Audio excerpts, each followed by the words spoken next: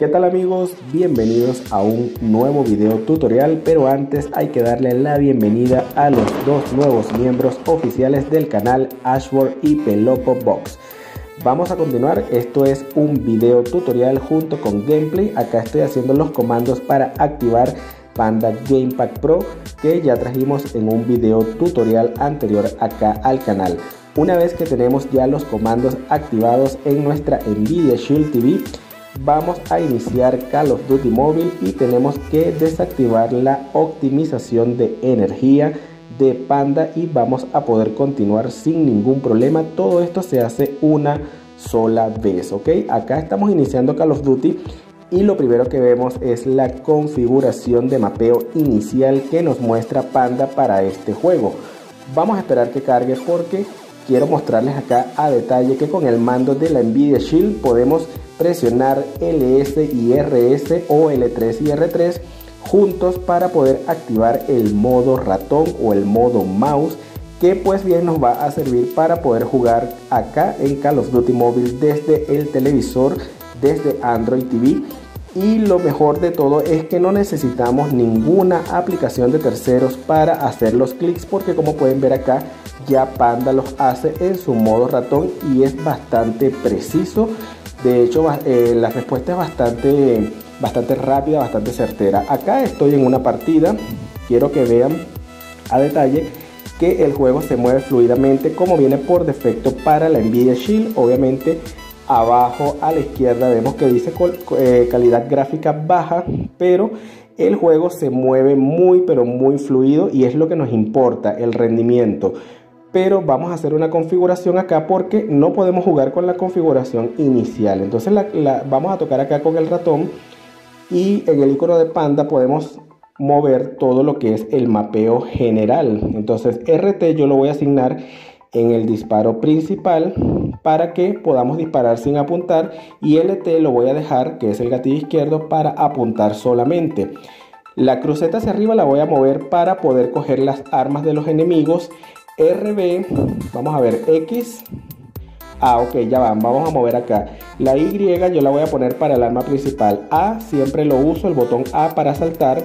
La Y para el arma especial ok X por supuesto siempre es recomendado para recargar nuestra arma y acá estos están bien cruceta izquierda abajo derecha para las funciones especiales LB y RB yo al igual que en PUC móvil yo lo voy a asignar para cambiar las armas porque se me hace mucho más rápido hacerlo con estos botones la cruceta hacia arriba como les dije para coger las armas esto lo puedo agrandar que es el stick principal y el stick eh, derecho lo voy a dejar por defecto que es para la cámara entonces quiero que vean el rendimiento porque es bastante, bastante óptimo en la Nvidia Shield Android TV. Y pues eh, la jugabilidad es demasiado fluida, demasiado perfecta. Y bueno, a nivel competitivo eh, se juega bastante bien porque eh, no se requiere calidad gráfica alta, sino un buen rendimiento. Además de que verlo en todo el esplendor del televisor ya nos otorga cierta ventaja porque el campo de visión es mucho más amplio.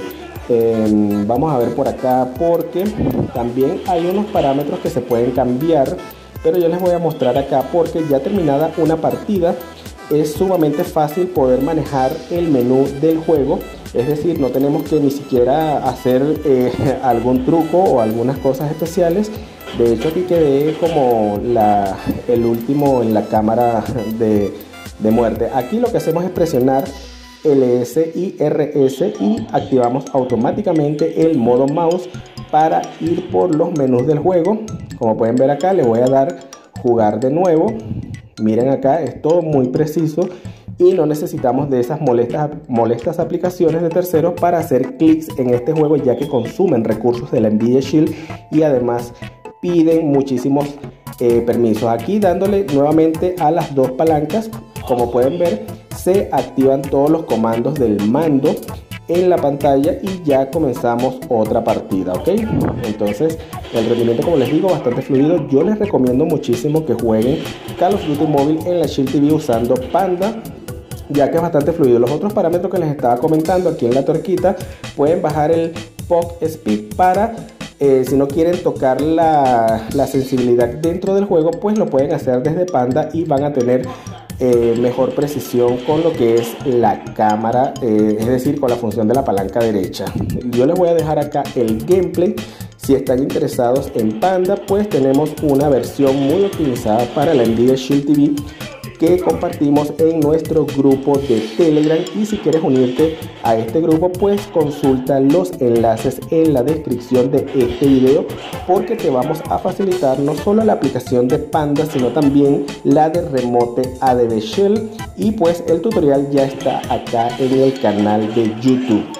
Yo los voy a dejar con este gameplay. Mientras me despido sin antes invitarlos a que se suscriban al canal si aún no lo han hecho Recuerden apoyar con un buen like y cualquier duda recuerden que pueden dejarla abajo en los comentarios.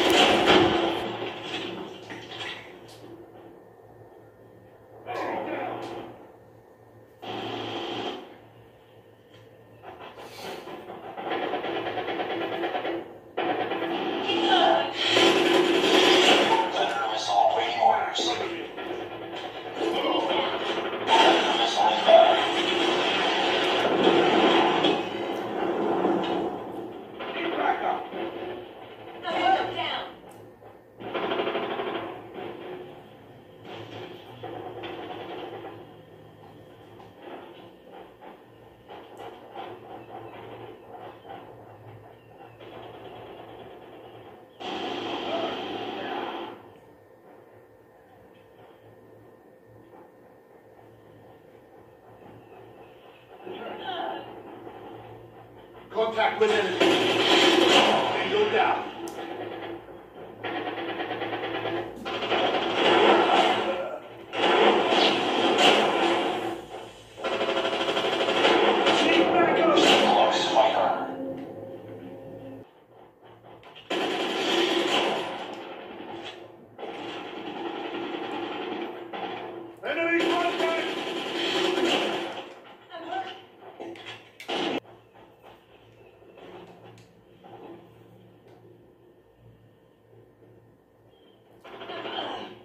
Targets in sight!